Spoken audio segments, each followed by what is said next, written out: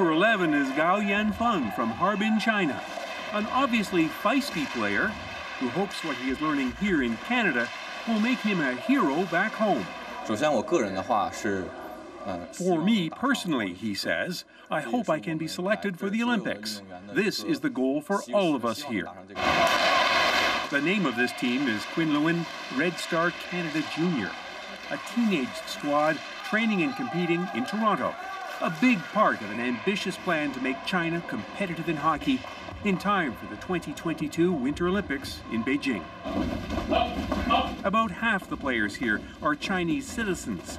The rest are Canadians or Americans with family connections to China. Gavin Yee, born and raised on Vancouver Island, is one of the team's top players. That'd be a huge honor, obviously. Uh, playing playing on a team nationally is uh, would be a huge honor. Do you have grandparents? Yeah. So I have. I have a grandfather. Grandfather. Yeah. The players attend a private school with English lessons for anyone who needs them.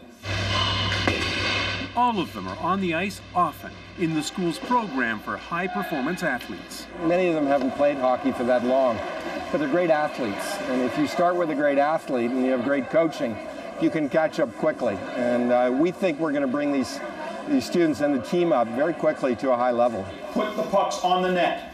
Former NHLer Steve Kasper has been brought in to coach. I think that it's been uh, encouraging to watch the the kids from Canada um, merge with the kids from China, I think that uh, they're really becoming a team, and I think that's a great thing.